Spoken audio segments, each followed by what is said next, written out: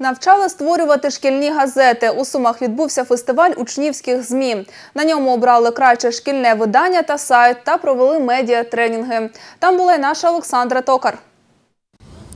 Загалом фестиваль шкільних газет триває три дні. За цей час учасників навчать, як правильно верстати газети, брати інтерв'ю та оформлювати матеріали для шкільних ЗМІ. До участі в конкурсі долучилися 40 школярів.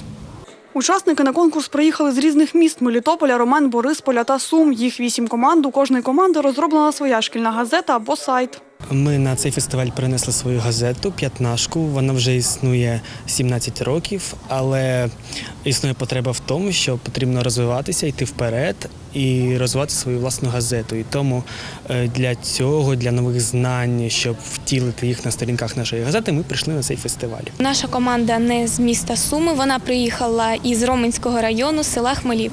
Вона називається Золоте перо. Виданню майже 10 років. У нас е, близько 15 чоловік працює над створенням газети. Це редактори, журналісти і, звичайно, коректори. Це наш шкільний сайт, і ми над ним працюємо разом з викладачами.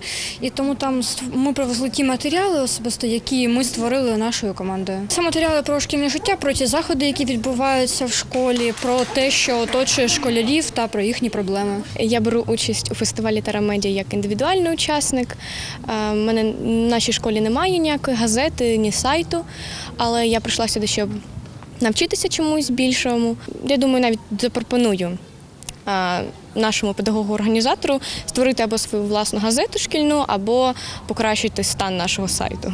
Протягом фестивалю учасники відвідували тренінги та майстер-класи від медіатренерів з Харкова, Києва та Сум.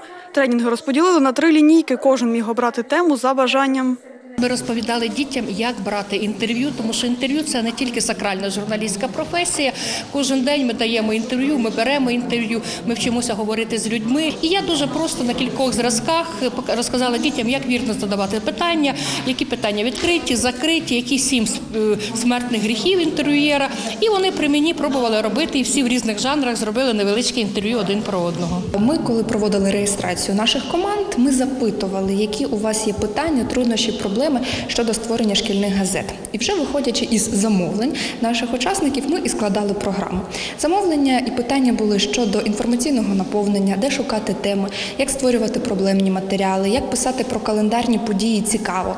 Були питання щодо верстки, дизайну, фоторепортажів. І саме під це ми створювали нашу програму, тобто абсолютно під запити наших учасників. У нас визначені критерії, які ми оголосили нашим учасникам: це жанрова різноманітність, це відповідність стандартам журналістики, це верстка та дизайн е, і наявність проблемних матеріалів.